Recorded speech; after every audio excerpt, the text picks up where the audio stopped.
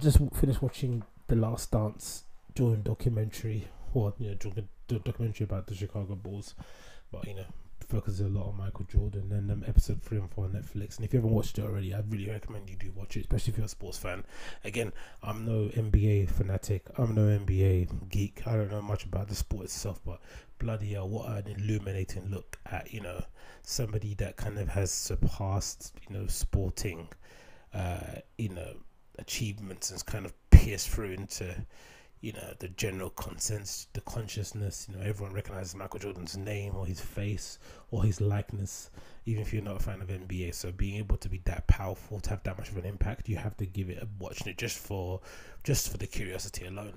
Um, similar to like an elvis presley documentary right? You might not understand what he meant because you weren't around during the time that he was popping but just to find just to have some kind of context just put some context towards it it's quite um, um, it's recommended viewing you know to check that out too. So i recommend you do the same thing for this documentary. So three and four focused a lot on um, dennis rodman and the rivalry the bulls had with the detroit pistons. And i thought the dennis rodman um, episodes were maybe some of the best bits of tv and another reason another kind of not reason but another sort of um, illustration of just how important it is to embrace the weirdos and the freaks of our society and give them a kind of give them a runway to express themselves as opposed to kind of putting a you know um, a a chain around their neck and pulling them back. I think you need to be able to give them the room to just do what they do and then kind of guide them along the way, but kind of pulling them back, kind of shackling them down, and trying to change who they are. You're not going to bring the best out of them and I didn't know much about Dennis Rodman's off. Well, I knew some bits about Dennis Rodman's off-field activities, but I didn't know he went that hard in the paint when he went to going out. Like, there's one story they talk about where he's, you know, I think at the time Scottie Pippen was either on strike because he was injured or he was injured, but he refused to play anywhere regardless until you know um, the Bulls kind of um, traded him. That wasn't going to happen for a while. So then uh, he decided to come back and just started playing again. And um, I think at the time Pippen, Rodman, and Jordan were the kind of three horsemen. So once Pippen was out, Rodman kind of stepped in and sort of like took that kind of a semi leadership position and sort of was able to be the person that Jordan could rely on. And then Pippen came back again. Um, P- Rodman felt like the third wheel and went to like let's let his hair down. And also he also wasn't really up for maintaining that good boy attitude. I think Jordan mentioned a few times that um, Rodman was basically killing himself trying to keep on the straight and narrow the whole time, which he did, right? Which I think says a lot about him. That he's he was able to kind of put his own needs and wants to one side for the betterment of the team. He was like, okay, cool. This is not what I want to do. I could be having much more fun, you know, in a in a in a club somewhere surrounded by hookers and blow and drinks and shit. But I'm gonna stay here. I'm gonna do the good, do do a best job as I can until my other teammate comes back and I can let my hair down. And he proceeds to do that he decides he asks the management to take 40 hours. He, he wants a holiday first, right? He wants a vacation. He doesn't get the vacation time he wants, so they tell him, "Can you accept 48 hours?" And he takes that, and I think it ends up being three days or something. But it was just the willingness for the team, Phil Jackson, Michael Jordan, as being you know one of the leaders of the team or the leader of the team, to be able to like give to understand who he was as a character and also give him the opportunity. But also, I think it says a lot about Dennis Rodman because you don't usually get given those opportunities unless your teammates, your colleagues know that when it's game time, you show up. If they're not, if they're worried about that, they're never going to give you the opportunity. So I think it says a lot about his character too that he was somehow able to do both. And I think most weirdos, most freaks, most outliers can do both. But I think within the corporate world, within rigid, rigid within rigid, yeah, rigid corporations, within kind of uh, rigid startups, within um, very conservative, maybe sports franchises or whatever institution they may be. I think sometimes they get worried that the kind of you know the the the sort of eccentric characters will sometimes influence the people that will behave to stray, of course, and they also don't want to encourage that kind of behavior point blank, on it?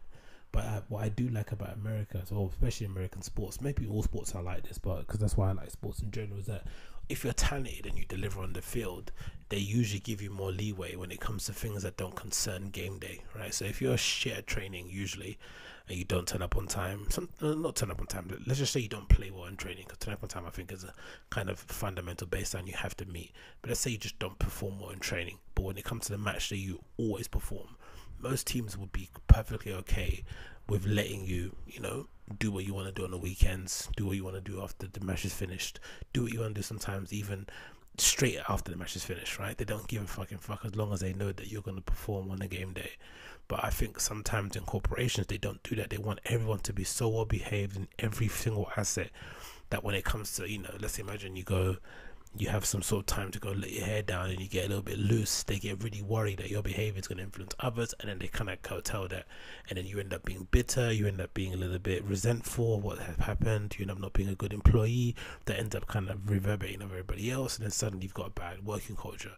But if corporations are able to incorporate a little bit of that and kind of sprinkle in some fanatical characters in their group, it would let everybody know where the levels are at. Because if you realize in the documentary, when he comes back from his like three day binger or five day um, bender, sorry, um, Phil Jackson purposely tries to put him through a really hard workout thinking that he wouldn't step up and he wouldn't be able to hack it, and he smashes it, of course, isn't it, right? And then he realizes, okay, cool, we're dealing with a freak of an animal. We need to be able to kind of give this guy leeway to kind of do his thing on the outside because when it comes to training, even not even game day, just coming to practice and getting back into match fitness, he was right back where he started from. Like he didn't miss a beat. So I think that was really impressive. Even just seeing him coming down to the basketball court wearing his pajamas and his slippers and shit was super funny but I thought that was really cool. I liked the relationship between each other. I thought that was really sweet. Um, and you know, you got a feeling you you definitely understood watching it why some some athletes miss sports, professional sports, and that kind of locker room com- camaraderie so much, camaraderie or whatever that word is called, because you don't get that same sort of understanding on the outside world. No way. No one gives a shit about you the same way your teammates do. No one understands you the same way your teammates do. You don't bust each other's balls the same way your teammates do. So you step out into the real world, stuff becomes a bit weird and, and really corporate and really well to do and well behaved and proper and shit. But in this sort of arena, when you're all fighting for a common goal, I think that, or for a common goal, especially the NBA championships, it sort of works itself out that way. But I thought his um, introduction to the series was really cool. Obviously, the you know uh, introduction of Carmen Electra kind of spiked some of the ratings. Got some interesting stories from her about her, their time together, and just generally his kind of eccentric self was just really amplified, and you got to see why he's such an icon, such a legend. Um, somebody was able to kind of you know be an integral part of the team um, whilst also maintaining his own personality and not kind of bending to you know the expectation of what a professional athlete should look like or act like. So yeah, definitely appreciate that one. And then let's move on. The next one I thought was interesting part of it was how good of a sport Michael Jordan was, right? You don't necessarily hear this about him. You hear you hear rumors or rumblings from NBA fans who say that Michael Jordan was a bit of a dick. And of course, most of it comes from, you know, if you're an NBA fan during that era and he was spanking your team around, you're not going to have good words to say about him, right? But I never knew he was that much of a, you know, f- uh, but you got stickler for like, you know, uh, the right kind of conduct on the on the court when it came to you know if you lost or if you won, he definitely shook hands.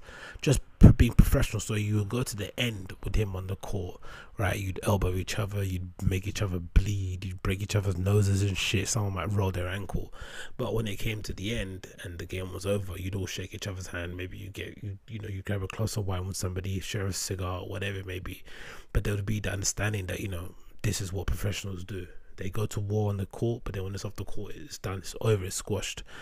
So it was really interesting to see how annoyed Jordan got by the whole thing with the Detroit Pistons, and you have to understand, especially looking at for just from the video clips. You know, they always say that that, that era, the eighties and nineties, was a completely different game, especially even the early two thousands.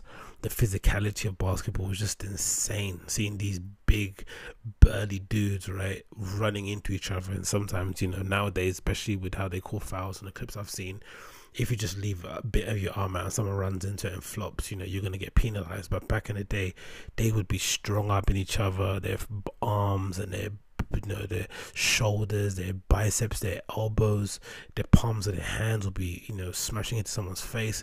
It was really aggressive, and um, it was cool to see that. Even though, from what it looked like, you know, they they treated Jordan like you know Antonio Reyes when he first played for Arsenal against United and Gary Neville and co just kicked lumps out of him. That's what it reminded me of when I saw Jordan against Detroit Pistons.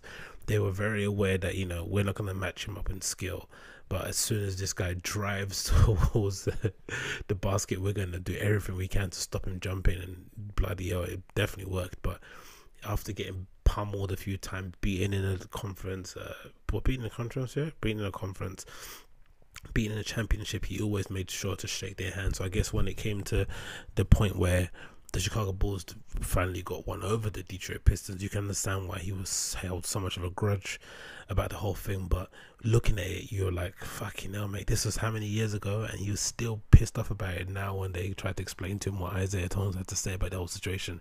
He just didn't want to hear it.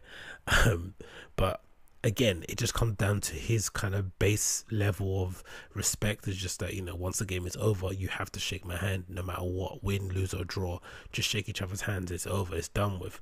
And I think that does speak volumes about the dude, man. Say what you like about him, but he's a pretty good pro in that respect. So I was really surprised to see that that was such a big issue for him um, going forward. But some of the aggression, look even where the hands are. Look at his face. He's just getting pummeled on the right.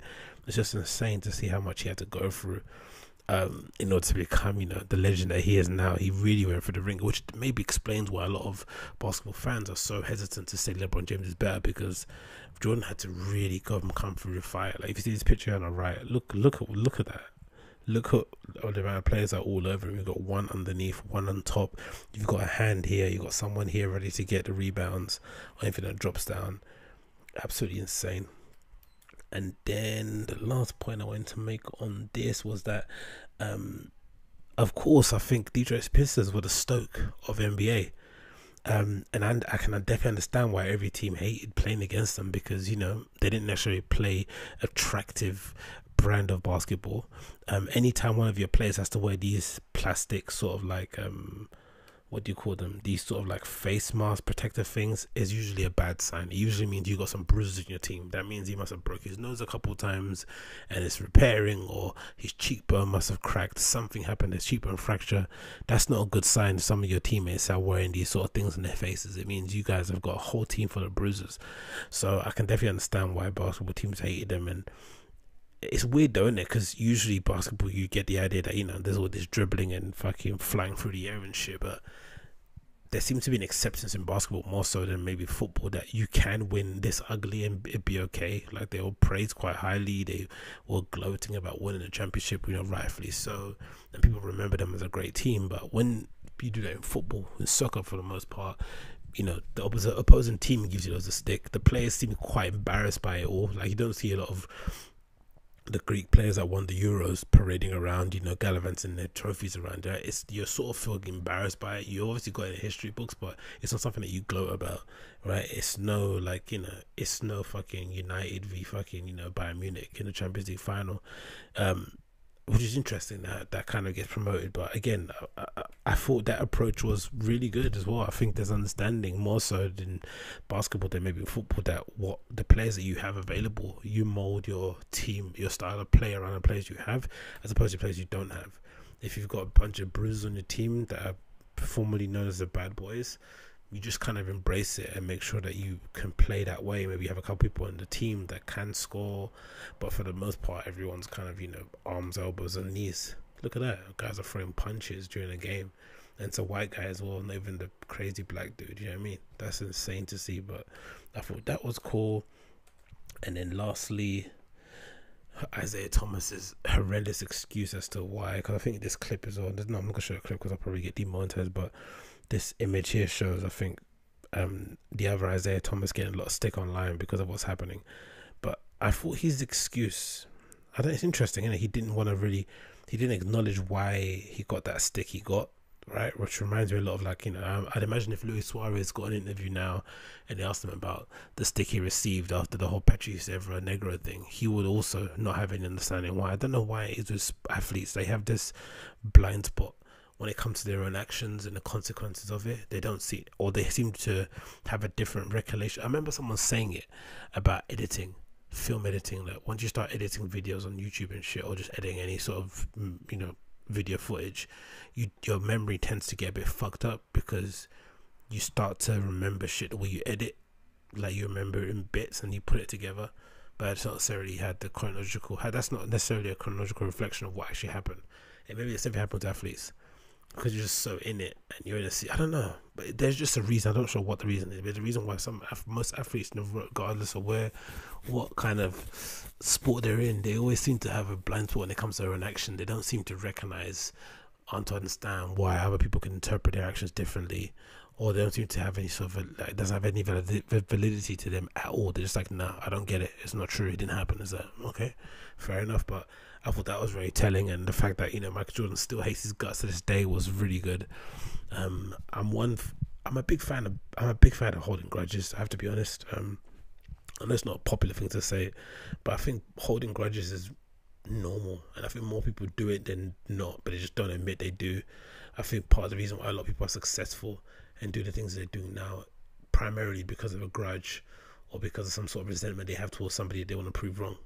I know most of my career has been that has been trying to prove people wrong. I've been trying to stick stick it up someone's face that said no or that let me go or whatever it may be. I'll just be like, no, all right, cool, I'm gonna prove you wrong. And usually it always happens.